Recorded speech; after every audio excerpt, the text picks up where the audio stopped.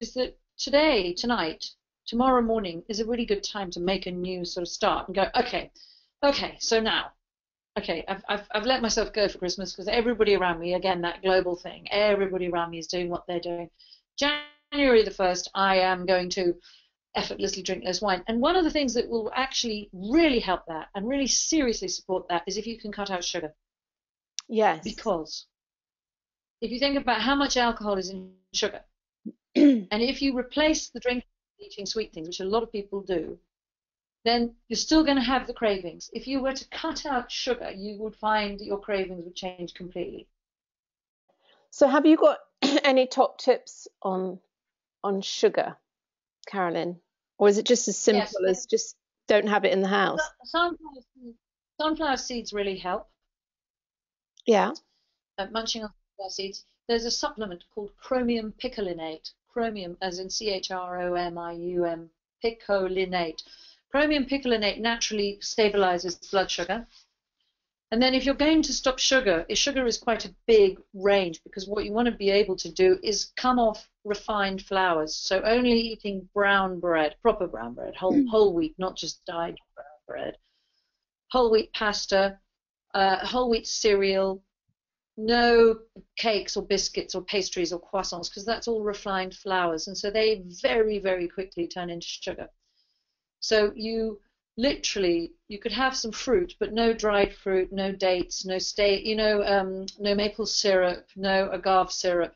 You just completely cut all that out and it, it takes about four or five days for your blood sugar to normalize but as long as you're having say brown rice brown proper brown bread uh, sprouted grain breads, that kind of thing, you'll yeah. start to balance your sugars, and you may actually find that your stress levels diminish. That's why I stopped sugar. I stopped sugar six years ago, was to take my stress levels down, and uh, it, it, changed my life to the point where I've never considered going back to eating sugar because it is so addictive. Yeah. And then if you're then parallel to that, bringing your drinking down, it, it really supports you hugely, hugely. I remember Dee talking to me about this um, eating, and he uh, he was put on a yang diet, and basically it was brown rice and all of those kind of things you've just been talking about, and he just said it was the most incredible experience to completely transform by um, yang eating, as he called it, um, because I guess mm. sugar is yin and fruit and things like that. Yeah, there's different um, there's different ways of looking at it. Um, addiction definitely has its roots in in in trying to satisfy the self, trying to get more dopamine into the into the body or created by the body. That's what we're doing. We're always looking for a hit, whether that's from a lover sending a text or something that we eat or drink. We need to change how we feel. We, we find ourselves unbearable. That's why we want to drink.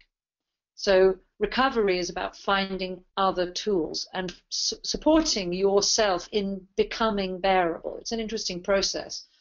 Um, we have different ways. So, so, addiction, we can look at it from that perspective. Food, we can look at from other perspectives. Yogically, you have sattvic, tamasic, and rajasic, which are the three layers of food. So um, sattvic is the highest level of food, which will be food that's grown above the ground. So things like rice, apples, things like that that are off the ground. Yeah. And then you have the food on the ground, rajasic, so things like um, crops that grow, you know, like spinach, that kind of thing. Yeah. And then you've got uh, which is the energy of decay, things that grow under the ground. And although that's also garlic and stuff like that, it also includes um, meat and alcohol and drugs. They're all considered toxic. You know, they're the they're the energy of decay. It's quite a sort of it's quite an extreme spectrum of looking at food, but it's a yogic way of looking at it. And so the more the more you want to meditate and be elevated and and be out of the sort of um, negativity of life, then you bring your food up out of. That's why vegetarianism. That's why you come up into brown brown rice, whole grains, that kind of hmm. thing.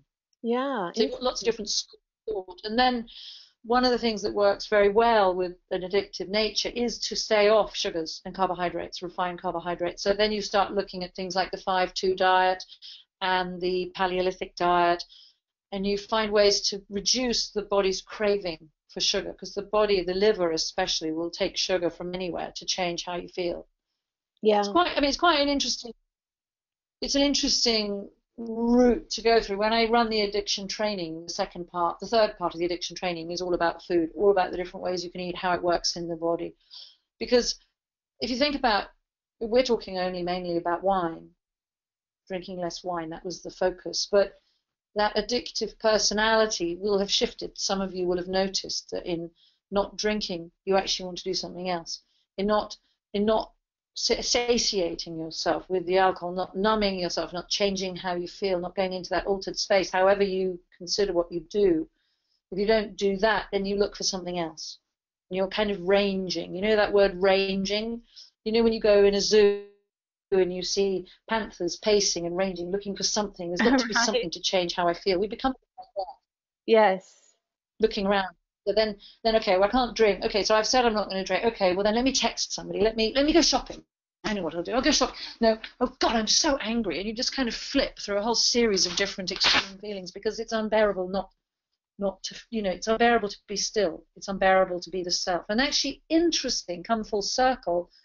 That's why yoga's good because when you sit on the mat, yes, and especially if you really lose yourself in the practice, you experience yourself as exquisite, and you start to trust yourself. Yeah. And you start to know that actually you can change how you feel. You don't need something external to change how you feel.